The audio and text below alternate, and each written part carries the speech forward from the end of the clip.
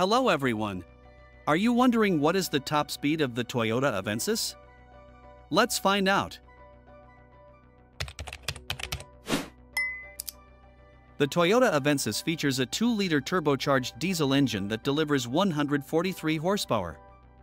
This midsize sedan reaches a top speed of around 125 miles per hour, or 201 kilometers per hour.